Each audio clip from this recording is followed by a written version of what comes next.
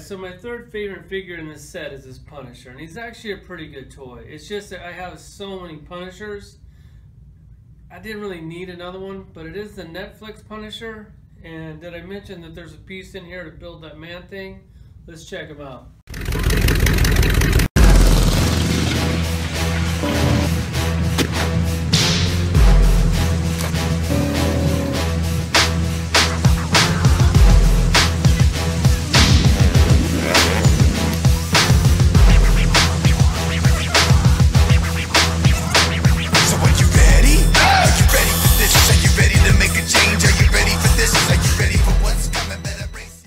So this is why it's hard to get excited about getting another Punisher figure. I'm not going to pretend like I didn't want this Netflix Punisher because I'm a really big fan of the show and I was really excited to get it and I think they did a pretty good job of it. But when you got this many Punishers, it just um, kind of half the excitement shot right off the bat. Let me go ahead and go through them. I think this, this is Thunderbolts. This one's probably my favorite one that Marvel Legends did. That's my favorite one that Mezco did. There's the Mezco Deluxe. And because they sold that other one while I was at work, I missed out on it, so I guess I get penalized for having a job. So that really sucks, and I'm not going to spend 400 bucks on eBay for it. So I'd really like to get that someday. Maybe they'll re-release it. They probably won't. There's the Walgreens exclusive. There's the Select. I don't normally get Select unless it's a bigger character, but it's a Punisher. And as you see, I have a hard time passing on Punishers. And then just here's some of the other ones. Um, there's the old movie one back there. So let's get to this one.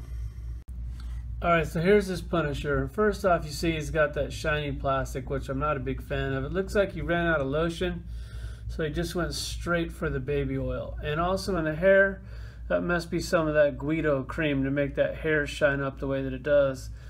The plastic, um, taken, he just must have been rainy out that day, so he like had to put like that leather shine on it, you know, to protect the leather and all that.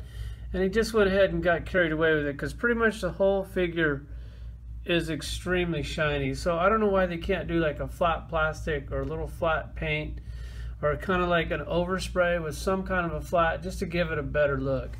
Other than that, the looks of this toy it's pretty much perfect. Like I love the skull on him. I think they did a really good job on that. Like that, I mean, that looks exactly like it did in the show.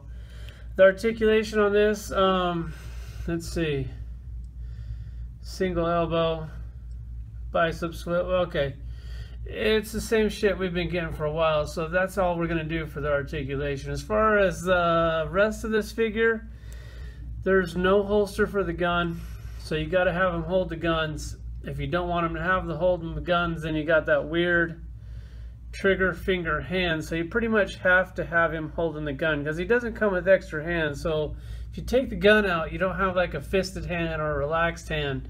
So you pretty much got to double fist this guy at all times. As far as the guns go, I think the, the sculpt on him is actually really nice. They could have put a little love on the paint, but you know Marvel Legends, they just like to do the bare minimum sometimes.